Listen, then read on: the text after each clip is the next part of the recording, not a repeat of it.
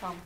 Um, obviously, leaving sort of imperial agenda aside from it, I mean, I, I see you getting at Ian. Like, there's um, in America, you have a lot of big independent push, and um, one of the most popular ones is a company called Rooster Teeth, which no doubt a couple of people my age range, sort of 20s to 30s, come into contact with, and they uh, they've rose to their strength as the most popular um, independent producer on iTunes because they have a community of tens of thousands with subscription basis and they fund themselves with that. But they recently discovered that they, uh, they do a, a, weekly podcast and um, the, the iTunes, the impartial top 100 uh, gaming, most listened to gaming podcast, they have 98%, 98 of the 100 slots.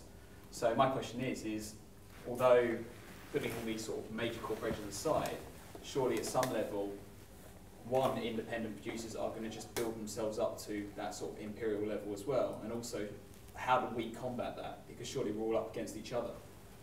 So how do I stand out on top of the people who do have those communities already? How do I get some of that action, so to speak?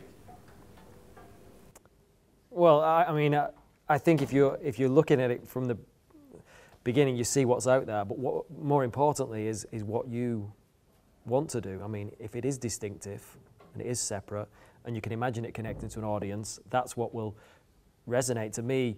I think if you're working independently, you know what resonates, and you know when Tony Wilson's mentioned what resonated with, for example, Factory Records, is there was a an authenticity about it. And I mean, Wilson, I remember him saying, you know, he he just signed bands that he liked, you know, that he he wanted to listen to. You, you if you're if you're sticking to your own, if you're not trying to second guess what other people think, and then it will grow from there because people respond to that because there are so many artificial things out there when people can tune in and connect with something like, I think it was something with Phoenix Nights as well, you know, with someone like Peter Kay. People are connecting with it because it, it, feels real, you know. So that's a starting point. I'm not saying that's going to get you 100,000 followers, but... No, it's, it's absolutely right. Right, close your eyes and listen to any news broadcast. Now, I used to read the news on the radio. Here we, here's how we do it. It's 10 o'clock. I'm Ian Aspin from the newsroom, blah, blah, blah. It's fake. Shut your eyes and listen to almost any voiceover on almost any program. It's fake. People don't talk like that. They don't sound like that. They don't speak like that. It's just not happening in the real world. So the programs that do that and have a bit of authenticity about it, where Tony Wilson sounds like Tony Wilson off camera as he, as he does on, and the people that are really interesting are the ones that are real. Like you say, authenticity. Where's the authenticity in almost all the messages that you hear? It's almost all manufactured, the way that people speak to each other, the way that they ask questions on television. Shut your eyes and listen to it. It's ridiculous. If my wife came into the kitchen and started saying to me, if there's any ham in that cupboard, would you please get it down now and open it? As the tin opener is on, you know, that's how they speak in an affected manner. Almost every voiceover is like that, putting fake emphasis on things. It's written in a certain way to push you in a particular direction.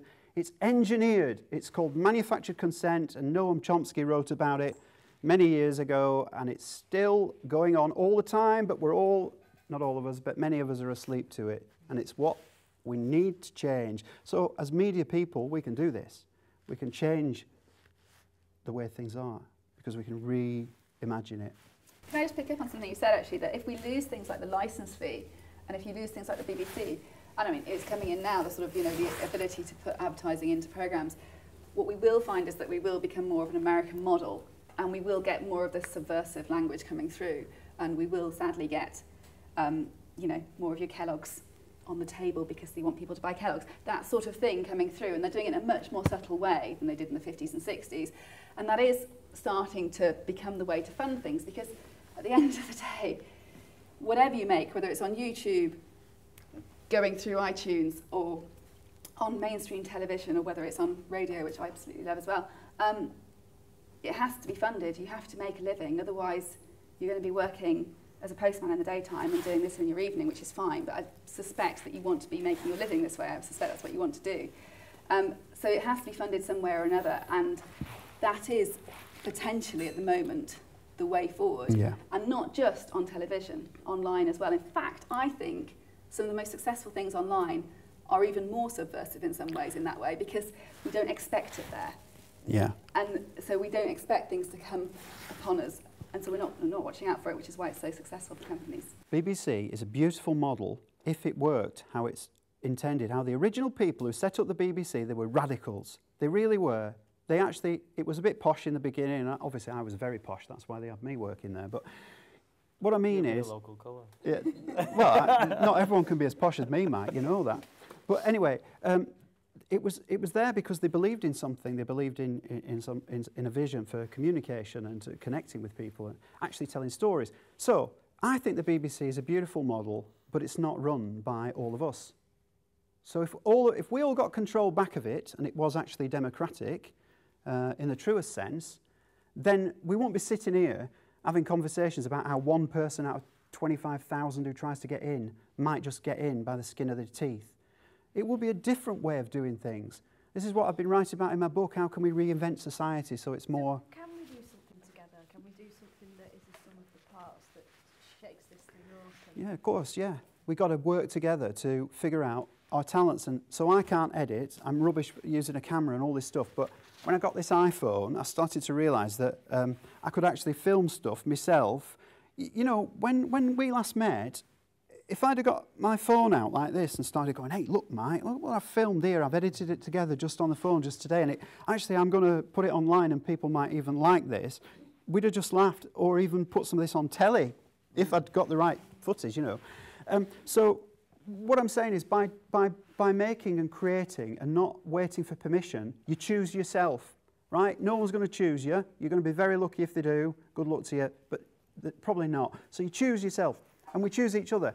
So I've no talents in loads of areas. I, I might have one or two talents, really kind of small things that I can do really well, and I'm rubbish at everything else, right? So that's why, who can edit in here? Right, great. Who can use a camera in here? Fantastic. Who has got a feel for a story in here?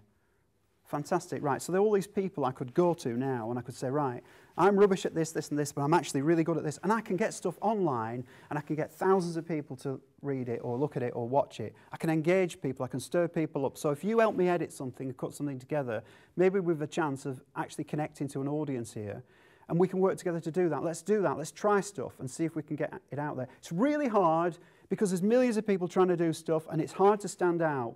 Really hard. But if you start finding people who are like you or, or interested in what you do, then you can do this stuff. And then you can go to the broadcasters and you can team up. See, Mike's got a production company in Manchester.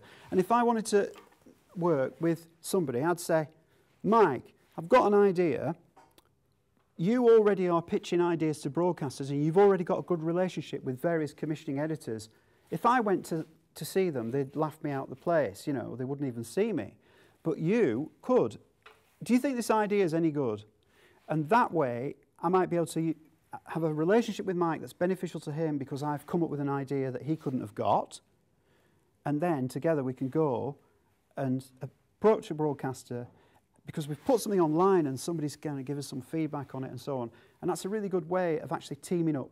But also, you need to choose each other and work together to figure out who are the bigger people in terms of they're a bit further on than you that you can work together to say, right, let's put something together and let's get it out to these people who have got some potential to help us get a commission because it's a good idea, or even guide us in terms of learning how to come with these things. Um, and that way, we can change the system. And we can say, and as ordinary people now getting online, millions of people can start saying, we don't want the BBC to be dictating this or doing that. We want it to be this. And there's nothing like this on telly. Why isn't there? And you can get all these people to sort of make you go to a politician and absolutely irritate the heck out of the politician till you get a commission to make that series or whatever. There's tons of ways of doing it, and it's really hard, but it is doable, and I think it's easier than the process that you have to go through if you want to just do it the mainstream, old fashioned way, which is crumbling and falling apart.